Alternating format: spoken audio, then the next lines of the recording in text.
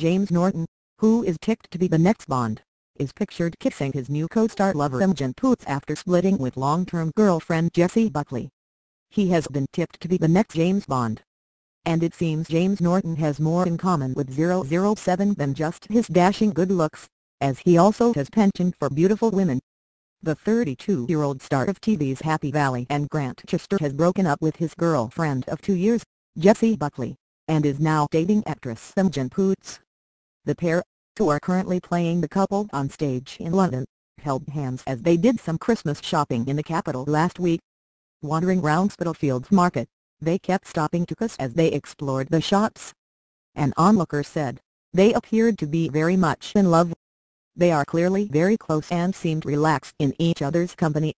In their current roles in Belleville at the Donmar Theatre, Norton and Miss Poots, 28, play a self-obsessed couple their on-stage relationship is so believable one critic described them as having physichemistry.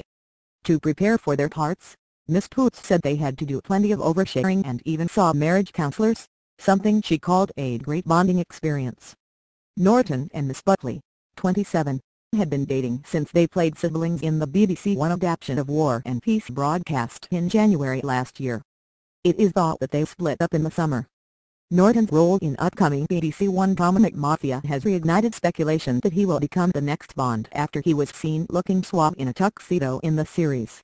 One scene also shows him bearing a ripped torso as he emerges from the water in swimming trunks.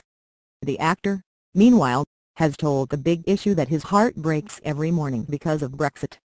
He said, it feels like we are spiraling out of control and no one is willing to put the brakes on. A representative for Norton declined to comment.